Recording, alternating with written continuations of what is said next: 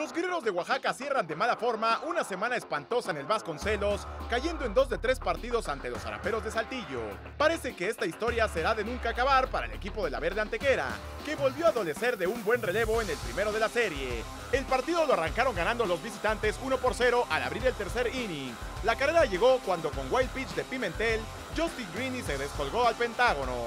Rayita que fuera la única que aceptara el refuerzo Stolmy Pimentel, que con seis entradas de labor consiguió su primera apertura de calidad que más tarde el relevo echaría a perder. Los locales hicieron una en la quinta gracias a imparable productor de Mario Valenzuela y para el cierre del sexto rollo, la tribu conseguía la ventaja de 4 por 1. Sánchez impulsó a par de compañeros con doblete y Frank Díaz más tarde enviaba el plato al jardinero derecho.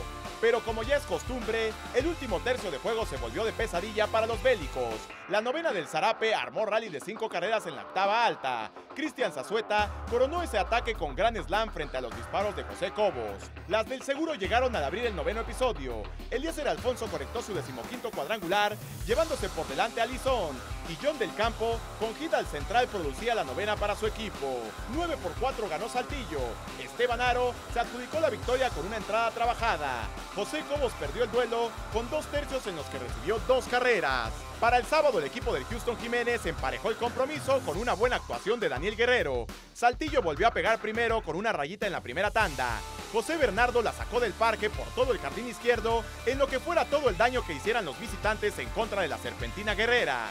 Shamar Leiva, Manuel Cruz y Frank Díaz timbraron en la tercera, quinta y sexta entrada respectivamente para darle rumbo a ese segundo encuentro, ya que después de varios partidos, el cuerpo de relevistas estuvo a la altura para mantener la ventaja.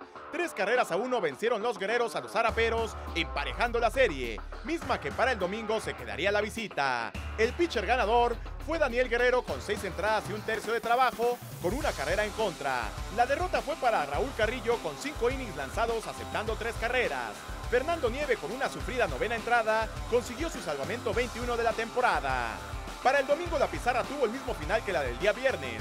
9 a 4 ganaron los zaraperos, quienes armaron par de ataques tempraneros para asegurar el triunfo, consiguiendo tres carreras en la primera y tres más en la segunda tanda. Ataques en los que Justin Greeny conectó par de cuadrangulares, siendo el segundo el que produjera tres carreras.